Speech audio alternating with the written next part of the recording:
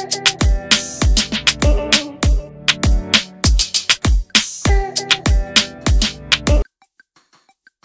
วเต็งมงลงไม่พลิกโพลกูรู มิสนิการากัวปัดมงแอนโทเนียโพซิลคว้ามิสยูนิเว r ร์ส 2023 จบไปแล้วกับเวทีประกวดมิสยูนิเว r ร์ส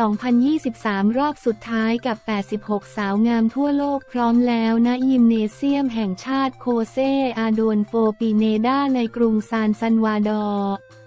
ประเทศเอลซัลวาดอร์ซึ่งสาวงามที่คว้ามงกุฎครั้งที่ 72 คือมิสนิการากัว ซึ่งเป็นการคว้ามงแรกของประเทศนิการากัว เชย์นิส ปาลาซิออส นางแบบวัย 23 ปี ส่วนสูง 180 เซนติเมตร Miss Universe นิการากัว 2023 เป็นหนึ่งในตัวเต็งจากลาตินที่เซียนปากกาทุกสำนักและกูรูนางงามทั่วทั้งโลกต่างปักธงให้อยู่ในลิสต์ท็อป 5 ของหลายๆ โพลซึ่งรองอันดับหนึ่งครั้งนี้คือแอนโทเนียโพซิ้ว ตัวแทนสาวงามจากประเทศไทย ส่วนรองอันดับสองคือโมรายาวิลสันประเทศออสเตรเลีย รวมถึงอันดับ 4 และอันดับ 5 คือคาร์ล่ากิลฟูประเทศเปอร์โตริโก และคามิลาอเวลล่าประเทศโคลอมเบียเข้าใกล้มงแอนโทเนียเข้ารอบ 10 คนมิสยูนิเว r ร์ส 2023 ปังมาก แอนโทเนียโพซิ้วเข้ารอบ 20 คนมิสยูนิเว r ร์ส 2023 ท็อป 5 ไม่พลิกโผ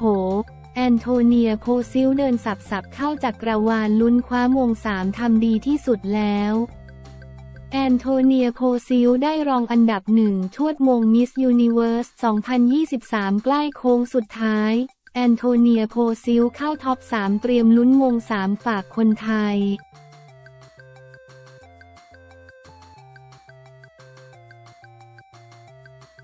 คนแรกแต่ไม่ตายไหม เจาะลีลาการตอบแอนโทเนียโพซิ้วฟังชัดชัดก่อนเข้าท็อป 3 ตอบคนแรกแต่ไม่ตายไหม เจาะลีลาการตอบแอนโทเนียโพซิ้วฟังชัดชัดก่อนทะลุเข้าท็อป 3 ในเวที Miss Universe 2023 ลุ้นกันทั้งประเทศกรี๊ดสนั่นลั่นบ้านกันเลยทีเดียวกับการชมการประกวดเวทีประกวดมิสยูนิเว r ร์ส 2023 นะ ยิมเนเซียมแห่งชาติโคเซ อาดอลโฟปิเนดา ในกรุงซานซัลวาดอร์ ประเทศเอลซัลวาดอร์ หลัง แอนโทเนียโพซิ้ว สาวงามลูกครึ่งไทยเดนมาร์ก วัย 27 ปี เจ้าของแฮชแท็กเครื่องหมายสี่เหลี่ยม หลานย่าโม go จักรวาล เป็นตัวแทนจากประเทศไทย เข้าร่วมประชันความสวยความงามพร้อมเข้ารอบ3คนสุดท้ายแล้วแอนโทเนียโพซิ้วนั้นได้ทำผลงานดีจนเข้ารอบ5คนสุดท้ายเตรียมตอบคำถามลุ้นเข้าท็อป 3 ซึ่งแอนโทเนียได้รับคำถามว่า ถ้าคุณได้พูดกับนักเรียนเกี่ยวกับการโดนบูลลี่ออนไลน์ จะพูดว่าอย่างไร โดยตอบว่าอย่าฟังสิ่งที่พวกบูลลี่พูด มันเป็นเรื่องของเราที่จะ react กับเรื่องที่เกิดขึ้น อย่าไปฟังเสียงที่เกลียดชังสิ่งสำคัญคือการลุกขึ้นมาจากช่วงเวลาที่ยากลำบากนั้น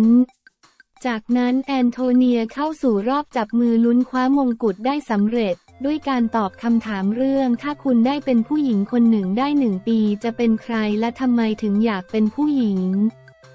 โดยแอนโทเนียตอบว่า มาลาลายูซัฟไซ เพราะฉันรู้ว่าเธอต้องดิ้นรนเพื่อไปให้ถึงจุดที่เธออยู่ทุกวันนี้ เธอต้องต่อสู้เพื่อการศึกษาของสตรีและต่อสู้เพื่อให้ผู้หญิงทุกคนสามารถยืนหยัดอย่างเข้มแข็ง เป็นผู้เปลี่ยนแปลงและเป็นผู้นำเป็นตัวอย่าง ถ้าฉันเลือกใครก็ได้คนนั้นแหละ คือเธอขอบคุณมาลาลายูซัฟไซ คือเด็กนักเรียนจากเมืองมินโกราในเขตสวาตแคว้นไคเบอร์ ปัคตูนควาประเทศปากีสถาน นักเคลื่อนไหวเพื่อสิทธิด้านการศึกษาของผู้หญิงเจ้าของรางวัลโนเบลสาขาสันติภาพที่อายุน้อยที่สุดโลก เข้าใกล้มง แอนโทเนียเข้ารอบ 10 คนมิสยูนิเว r ร์ส 2023 ปังมาก แอนโทเนียโพซิ้วเข้ารอบ 20 คนมิสยูนิเว r ร์ส 2023 ท็อป 5 ไม่พลิกโผ แอนโทเนียโพซิ้วเดินสับสับเขย่าจักรวาลลุ้นคว้ามงสามทำดีที่สุดแล้วแอนโทเนียโพซิ้วได้รองอันดับหนึ่งชวดมงมิสยูนิเว r ร์ส 2023 ใกล้โค้งสุดท้าย แอนโทเนียโพซิ้วเข้าท็อป 3 เตรียมลุ้นมง3 ฝากคนไทยคนแรกแต่ไม่ตายไหม เจาะลีลาการตอบแอนโทเนียโพซิ้วฟังชัดๆ ก่อนเข้าท็อป 3 ดราม่าสนั่น มิสนิการากัวใช้ล่ามเวลานานกว่าคนอื่นไม่แฟร์แอนโทเนียโพซิ้วคว้ารองอันดับหนึ่งมิสยูนิเวอร์ส 2023 ได้เงินเท่าไหร่ส่องเงินรางวัล แอนโทเนียโพซิ้วคว้ารองอันดับหนึ่งมิสยูนิเวอร์ส 2023 ได้เงินเท่าไหร่คุ้มไหมแล้วรองอันดับสองและอันดับหนึ่งได้กี่บาท หลังจากที่ลุ้นกันตัวโก่งกรี๊ดกันลั่นบ้านทั่วประเทศการประกวดนางงามจากกรวาลมิส Universe 2023 ครั้งที่ 72 ณ ยิมเนเซียมแห่งชาติโคเซ อาโดน โฟปิเนดา ในกรุงซานซัลวาดอร์ ประเทศเอลซัลวาดอร์ ก็จบลงเรียบร้อยแล้ว โดยมี แอนโทเนียโพซิ้วสาวงามลูกครึ่งไทยเดนมาร์กวัย 27 ปี เจ้าของแฮชแท็กเครื่องหมายสี่เหลี่ยมหลานย่าโม go จักรวาลเป็นตัวแทนจากประเทศไทย คว้ารางวัลรองอันดับที่หนึ่งจากเวทีระดับจักรวาลมิสยูนิเวอร์ส 2023ทั้งนี้มีหลาย ๆ คนมากมายต่างสงสัยว่าผู้ชนะมิสยูนิเวอร์สและรองอันดับหนึ่ง จะได้รับรางวัลอะไรบ้าง ตามรายงานเวที Miss Universe จะมอบเงินรางวัลให้กับรองอันดับหนึ่งมูลค่า 3,000 ดอลลาร์ ราว 16,186 บาท ส่วน Miss ออสเตรเลียรองชนะเลิศอันดับสองจะได้รับเงินรางวัล 2,000 ดอลลาร์สหรัฐ ราว 7791 บาท ตามรายงานของหนังสือพิมพ์เซมาน่า มิสนิการากัวที่ชนะเวทีการประกวดครั้งนี้จะได้รับรางวัลหลายรางวัลกลับบ้าน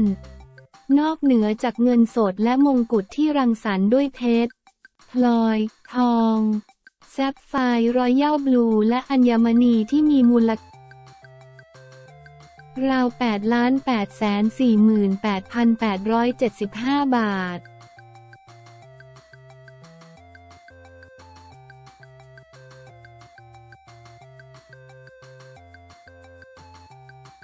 เศรษฐาเล็งหารืออิ๊งทำงานร่วม แอนโทเนียโพซิ้วดัน soft power เศรษฐาปลอบใจหลังแอนโทเนียโพซิ้วคว้ารองอันดับหนึ่งชวดมงมิสยูนิเวอร์ส 2023 เตรียมหารืออิ๊งในฐานะรองประธาน soft power ทำงานร่วมเมื่อเวลา 13 นาฬิกา 30 นาที วันที่ 19 พฤศจิกายน 2566 นายเศรษฐาทวีสินนายกรัฐมนตรีและรัฐมนตรีว่าการกระทรวงคลังทวีตข้อความผ่านเอ็กซ์หรือทวิตเตอร์ปลอบใจหลังนางสาวแพทองทานชินวัตรหัวหน้าพักเพื่อไทย และรองประธานคณะกรรมการยุทธศาสตร์ซอฟแห่งชาติแห่งชาติ ทวีตข้อความระบุว่า นั่งรถจากพิษณุโลกมาอุตรดิตถ์ไม่ได้งีบไม่ได้พักเลยคะนั่งลุ้นแอนโทเนียโพซิลไปกับคนทั้งประเทศลุ้นมาก ดีใจกับคุณแอนมากจริง ๆ ค่ะ เก่งมากๆ ความภาคภูมิใจของคนไทยทั้งประเทศค่ะ ขอเป็นกำลังใจเล็กๆ ให้คุณแอนและทีมงานทุกคนค่ะ โดยนายเศรษฐาระบุว่า ไม่ต้องเสียใจครับ เราทำกันเต็มที่เดี๋ยวขอปรึกษากับรองประธานซอฟต์พาวเวอร์ว่า จะทำงานร่วมกับรองมิสยูนิเวอร์สอย่างไรบ้าง เผื่อว่าจะเป็นประโยชน์กับประเทศชาติได้ สำหรับแอนโทเนียโพซิ้วมิสยูนิเวอร์สไทยแลนด์ 2023 ตัวแทนประเทศไทยสามารถคว้าตำแหน่งรองชนะเลิศอันดับที่ 1 Miss Universe 2023 ในการประกวดนางงามจากกรวาลครั้งที่ 72 รอบตัดสิน Final Competition ที่จัดขึ้นณยิมเนเซียมแห่งชาติในกรุงซานซันวาดอร์ประเทศเอลซาวาดอร์เช้าวันนี้ ตามเวลาประเทศไทย ซึ่งเป็นครั้งแรกที่คนไทยคว้ารางวัลนนี้ และในรอบ 35 ปีที่ตัวแทนประเทศจากประเทศไทยสามารถเข้ามาในรอบการประกวดที่ลึกที่สุด